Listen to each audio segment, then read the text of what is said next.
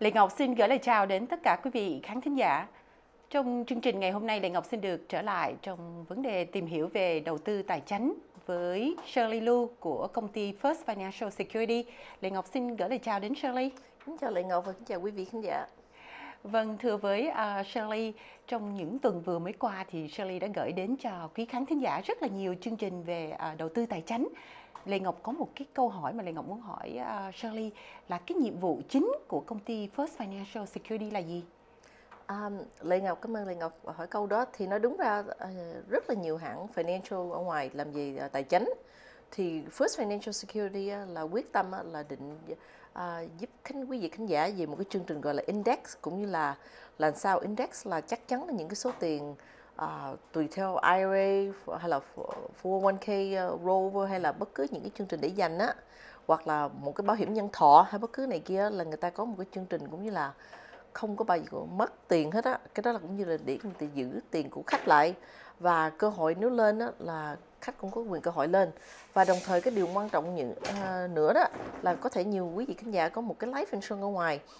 Thì làm sao là bây giờ mấy cái bảo, bảo hiểm nhân thọ mới á, nó ra cũng là đi theo index luôn. Cũng như là market lên là mình lên market xuống mình không có mất.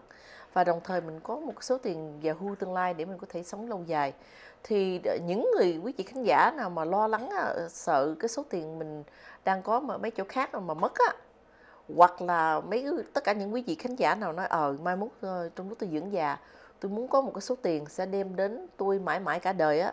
Là đây là những quý vị khán giả nên liên lạc duyên. Còn những cái quý vị nào mà nói thôi tôi không sao tôi đang có bên tôi yên rồi ờ, tại tôi có quen biết người này lâu dài làm cho tôi rồi. Mà chỉ có cái điều quan trọng đó là quý vị khán giả nên phải nói phải suy nghĩ.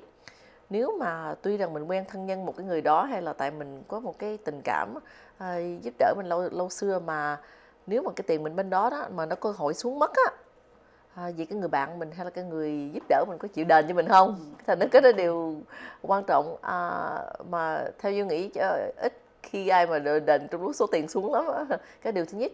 Hoặc là điều thứ nhì à, nếu mà quý vị khán giả tiếp tục mà bỏ bên cái chương trình đó đó mà nó không có một cái chương trình đặc biệt nó gọi là lifetime uh, guarantee income benefit rider thì làm sao? Cái đó là một cái số tiền à, giống như à, à, Lệ Ngọc có thể rút ra tương lai mà Lệ Ngọc sẽ có một cái số tiền mãi mãi cả đời. Không cần Lệ Ngọc sống bao lâu dài bao nhiêu. À, thì cái đó, đó à, là Lệ Ngọc nên phải có. Tại bây giờ bây giờ là mấy chương trình mới nhất nó luôn luôn phải có cái đó.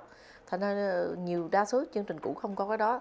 Thành ra tại sao khán giả phải để cái số tiền bên cái chỗ mình có thể mất tiền và đồng thời không có một cái lifetime? Đó thành ra chuyên môn là bên này là giúp khán giả vậy. Ừ ngày hôm nay khi mà có cơ hội nói chuyện với uh, duyên thì lệ ngọc uh, rất là muốn hỏi một cách chi tiết và rõ ràng hơn ừ. như là trong trường hợp của lệ ngọc tại vì sau những cái năm mà đã đi làm cho một cái uh, công sở ừ. thì lệ ngọc cũng có 401k cũng có IRA ừ. và khi mà lệ ngọc nhìn thấy cái uh, report mà gửi về đó ừ. thì thấy là trong những cái năm qua khi mà kinh tế suy thoái cái uh, report đã cho thấy là bị uh, mất tiền có lúc thì uh, cộng có lúc thì trừ có lúc mà đa số nhìn, nhìn thấy đó là những cái con số màu đỏ nhiều hơn và trong cái bản đồ cho thấy đó là có khi lên có khi xuống rồi mà thường thì xuống nhiều hơn thì không biết với uh, First Financial Security thì duyên có thể giúp được gì cho cái uh, chương mục của lệ ngọc hay không? Cảm ơn lệ ngọc. Thì uh, nếu quý vị khán giả và lệ ngọc đang thấy cái bản đồ nó đang chiếu lên bây, uh, bây giờ á cái đó gọi là S&P Stock Market. Ok thì trên cái bản đồ này thì quý vị khán giả thấy nó có ba lần. Lần trước nhất là nó có có cái lần nó um, màu xanh màu đỏ và màu uh, xanh lợt. Ok nếu mà quý vị bỏ tiền với lại ngọc đi à, trong ba cái lần đó đó à, mà cái đó là đi theo stock market này nọ kia nếu là nó dự định theo cái số tiền lời mình có bao nhiêu á trong ba cái lần này Lệ Ngọc thích cái lần nào nhất? Cái lần xanh, cái lần đỏ đó hay là cái lần lợt à, màu xanh nhỏ đó? Theo như cái à, bản đồ mà à, Duyên đưa cho Ngọc coi thì chắc chắn là cái lần xanh đậm là à. cái lần mà Lệ Ngọc Ừ, thấy cảm thấy rất là thoải mái, rất là yên tâm. Vì ừ, qua cái lần đó thì Lệ Ngọc thấy là cái số tiền của mình nó đi lên hoặc là nó đi ngang và nó cứ đi lên. Chứ lệ ngọc không thấy nó có màu đỏ và không thấy nó đi xuống thì không biết là cái nhận định của lệ ngọc có đúng không ờ, Sally? Ờ, rất là đúng. Lệ ngọc à, đa số ở trên nước mỹ bây giờ tất cả những quý vị khán giả ngoài à, 90% quý vị khán giả đang hiện nay đang nằm cái lần đỏ. Là lần đỏ sau mó cách lên là tiền quý vị khán giả lên mó cách xuống á, thì quý vị cũng đi theo cái lần xuống.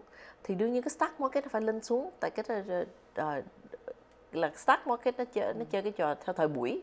Như vậy còn cái lằn xanh á hồi lúc ngọc lại ngọc hỏi ủa tự nhiên tại sao mà nó đi lên hoặc là nó đi bằng thôi?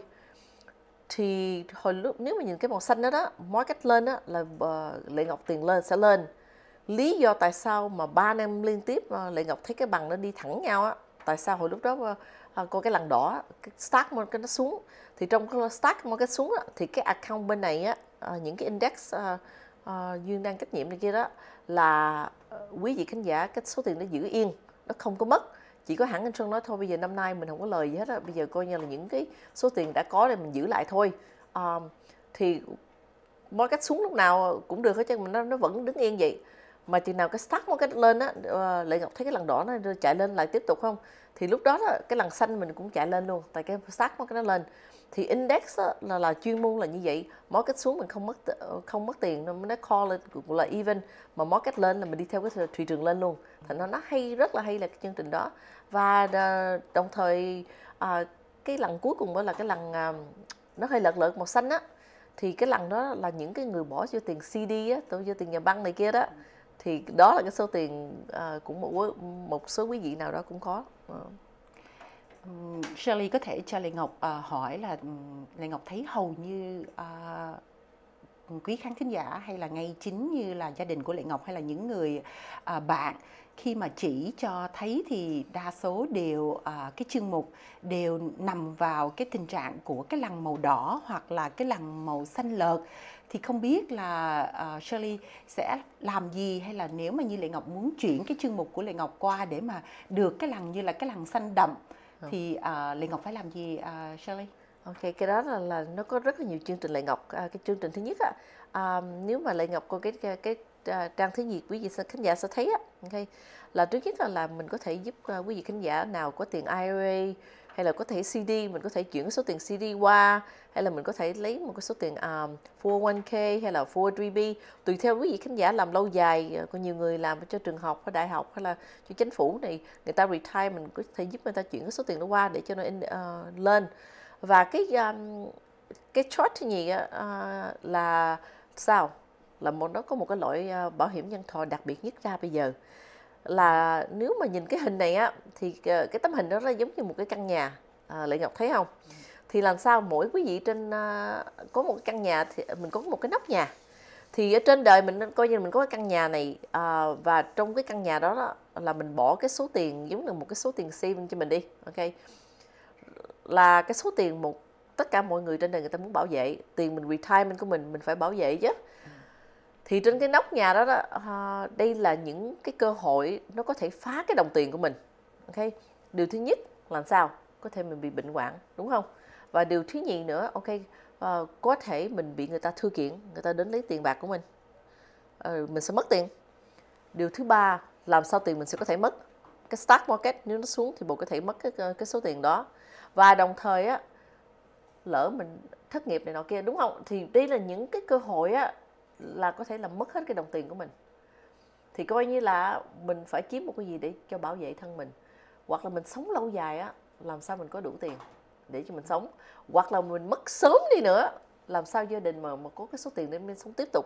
Thì đây là một cái product nó ra à, một một cái nhân thọ nó gọi là index UL á làm sao là mỗi cách lên á là tất cả quý vị khán giả lên mà nếu mà lỡ quý vị khán giả lỡ mà có bị thương hay bị này nọ kia tàn tật này kia là có nó luôn disability tất cả hết và nếu mà ai mà cũng muốn thư kiện cho mình đó muốn thí dụ lệ ngọc là bác sĩ đi tự nhiên ta đi té ừ. làm những gì không có đúng này nọ kia người ta thư kiện mình thì đây là một cái account nó protect giống như cái phone của anh người ta không có go after uh, lệ ngọc được tại ừ. đây là một cái số tiền một cái life insurance một cái protection một cái retirement của lệ ngọc và đồng thời á nếu mà cái người khách đó thì dù lỡ có bị thương này nọ kia người ta vẫn có một cái số tiền để người ta được sống à, à để giúp người ta được ờ, chi phí hàng tháng đem đến cho người ta. Thành ra coi như là mình cần một cái ờ, account đó để cho nó bảo vệ mình tất cả những điều đó hết. À, mà mình dùng một cái life insurance để mình nói. Khi mà Shirley nói về cái uh, dịch vụ về index uh, Universal Life thì không biết là nếu như Lệ Ngọc hay là quý khán thính giả muốn uh, chuyển qua thì không biết là có cái lợi gì hay không. À, mặc dù là à, Lệ Ngọc có một cái số tiền nhỏ hay là số tiền lớn thì không biết cái lợi nó như thế nào à, Shirley? À, thì cái đó tùy theo tuổi Lệ Ngọc. À, mình có thể nếu người ta có cái account cũ mình có thể chuyển cái cũ qua cái mới. Hoặc người ta chưa có thì mình có thể bắt đầu cái mới hoặc là những người nào uh, trẻ tuổi thì người ta còn thời gian rất là lâu dài để người ta đẻ ra cái số tiền cao. Còn những người nào mà lớn tuổi á um, thì bố không có một cái ờ, cô kia gọi ờ, cô nói ờ à, tôi có bà mẹ bây giờ 60 tuổi tôi muốn mua một cái bảo hiểm nhân thọ. Thì giá tiền khoảng bao nhiêu? Thì trong lúc là dương làm thì nói đúng ra cái người 60 tuổi là đúng là cũng hơi lớn à, tuổi mà cái mua cái bảo hiểm nhân thọ nó hơi mắc hơn chút à, đắt hơn chút thì nói đúng là sau khi dương coi lại dương nói oh wow cái tuổi này không phải nói cho dương mình có thể đem đến cho quý vị khán giả khoảng 150 đồng một tháng bù cũng coi như 5 đồng một ngày mà bảo vệ đến một cái ờ, gia đình đó đến 100 ngàn. À, và đồng thời luôn tiền tàn tật tương luôn tiền có thể disability luôn tiền có thể cái tiền cash value tất cả đầy đủ hết cho một người mẹ đó. À, nếu người ta không có dùng cái life insurance thì người ta cũng có chút đỉnh những cái benefit khác xài. Thành ra hơn là không có gì hết và đồng thời nếu mà có chuyện gì mất đi thì con cái mình cho con cái mình cũng yên ổn khỏi không phải lo uh, tiền bạc này kia uh, để mình có một số tiền để lại cho con mình để nó chăm sóc cho gia đình và chăm sóc cho mình trong lúc ờ, giờ giờ phút cuối cùng. Cảm ơn uh, Duyên đã đến với à, uh, SBTN trong ngày hôm nay để mà có thể nói đến những cái chương trình về đầu tư tài chính uh, giúp cho Lệ Ngọc và giúp cho quý khán thính giả có thể hiểu rõ hơn. Và uh, chắc chắn là quý vị sẽ gọi cho Duyên để mà um, tìm hiểu rõ ràng hơn về cái uh, cho chính của chúng ta. Thì xin duyên cho quý vị khán thính giả biết cái số điện thoại của duyên để cho uh, quý vị có thể gọi cho duyên. Ok cái số điện thoại liên lạc của duyên là 703 608 1203 à, hoặc là email duyên cũng được hay là email đến uh, lưu luu uh, à, Shirley là s h i r l e y at uh, gmail gmail.com Lê Ngọc cảm ơn quý vị đã theo dõi chương trình tìm hiểu về đầu tư tài chính ngày hôm nay và xin kính chúc tất cả quý vị một ngày thật nhiều niềm vui và bình an.